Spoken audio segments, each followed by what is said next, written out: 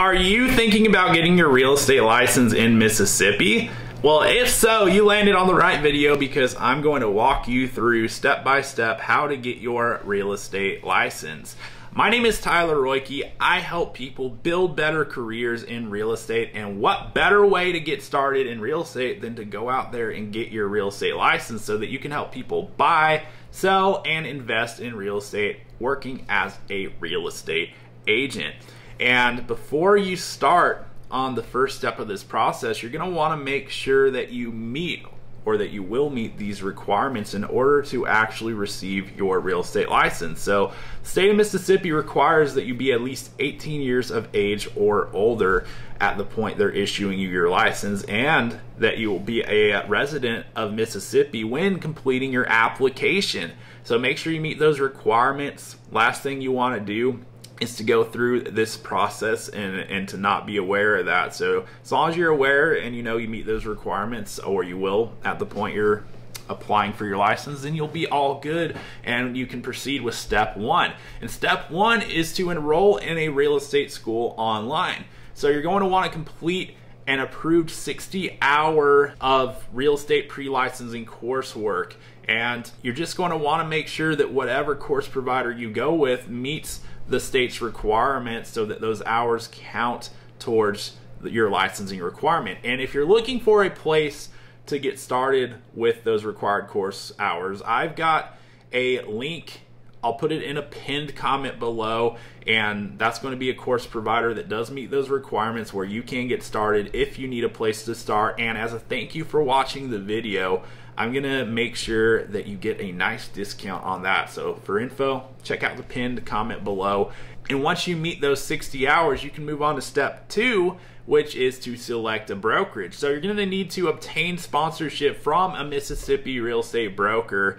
And once you do that, you can move on to step three. But quick note, on finding a broker. I'm not going to go into details exactly how to find the best possible fit for yourself in this video.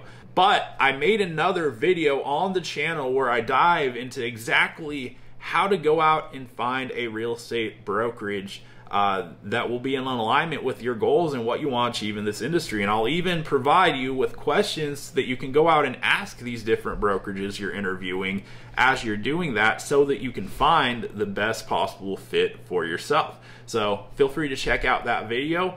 And with that in mind, we can move to step three, which is to apply for your Mississippi real estate license. So you're want to make sure you meet all the requirements on the application and that you send in your application fee, which is $120. And once you've done that, you can move on to step four, which is to take your real estate licensing exam. So you're going to want to successfully pass that exam. Hopefully, you do that your first time around, uh, you know, with some good studying habits in between the time that you send your application and take the exam. You know, spend some time reviewing chapter summaries and your notes and whatnot. But uh, you'll pass if you achieve a score of 70% or higher on the general portion of the exam and a score of 75% or higher on the state portion of the exam. So there's two portions uh, that the exam's broken down into. There's 120 questions total, but you'll want to make sure you meet those thresholds on both those sections because you know one's effectively a state portion, one's effectively a national portion. So one has a higher passing threshold than the other. But as long as you clear that threshold, you'll be good to go.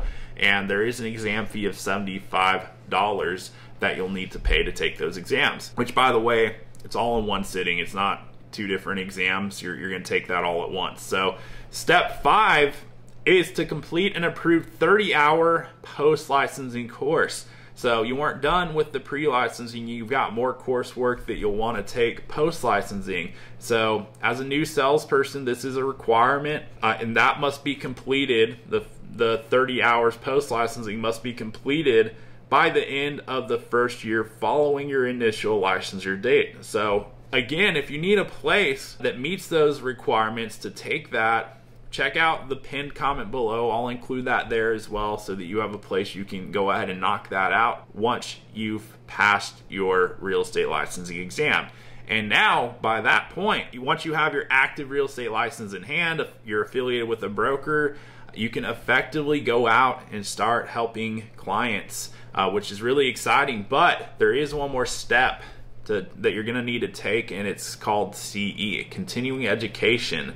So, in order to renew your license and keep it beyond the, the first renewal period, you're gonna, you're gonna want to make sure that you consistently meet the continuing education requirements, which for Mississippi, it's going to be 16 hours consisting of eight mandatory hours and eight elective hours, total 16 hours of CE every two years in order to renew your license. So, make sure you meet that requirement because the last thing you want to have happen is have your license lapse because you forgot to do your CE. So knock it out and you'll be good to go.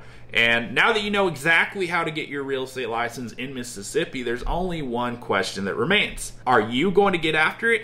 If so, hit the subscribe button so that I may continue to share tips to help you out on the journey ahead. And if you haven't done so already, check out the pinned comment below because I've included some links and resources to help you through the different steps in this process so that you can ultimately get your real estate license and get started. And if you got value out of the video, you already know what to do.